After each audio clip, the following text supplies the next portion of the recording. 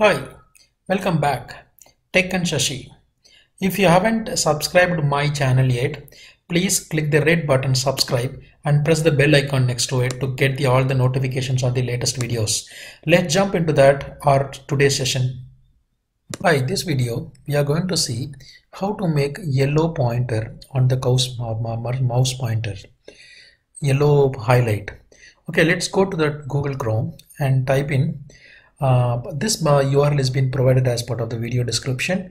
You click that link and go and download this uh, option, which is the yellow circle cursor center.cur and I've got downloaded already. So what I'll do is I'll look for this folder location. I'll take this folder location.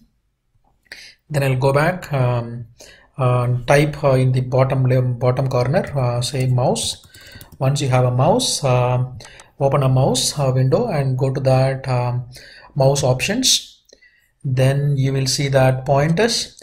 Then use a browse option over here. And then copy that location where you have downloaded that uh, uh, latest uh, yellow cursor uh, circle cursor. Once you upload and select it and say apply and then you got you got the yellow already so yes. So now you can see that uh, there is a uh, yellow uh, round option available as part of my cursor itself. So hopefully this lecture helps uh, to learn something new. Thank you. Uh, subscribe my videos. Click subscribe button and bell icon to get the latest videos on my channel. Thank you